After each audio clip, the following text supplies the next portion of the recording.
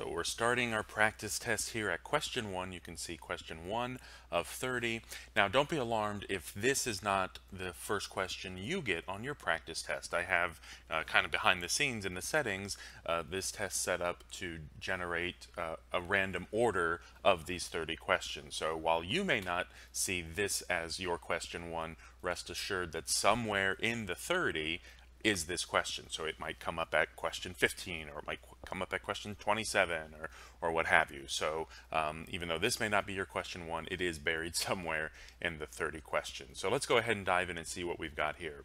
Question number one, we're told to select the correct choice that completes the sentence below. And we have a sentence here that says the horizontal axis is called the blank and the vertical axis is called the blank.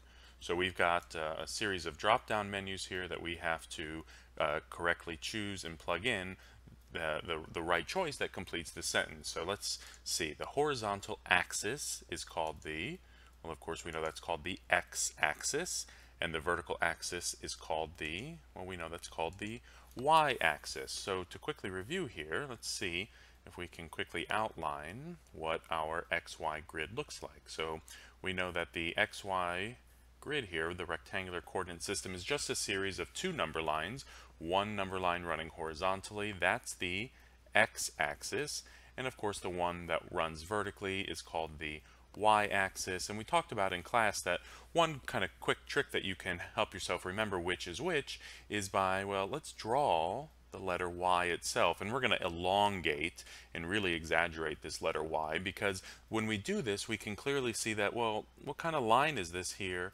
in the letter Y. It looks like a vertical line itself, doesn't it? So that's one way you can remember that the y-axis is the vertical, and of course the remaining axis that we would have to label would be the horizontal x-axis. So there we go, we have question one in the bag. The horizontal axis is called the x-axis and the vertical axis is called the y-axis.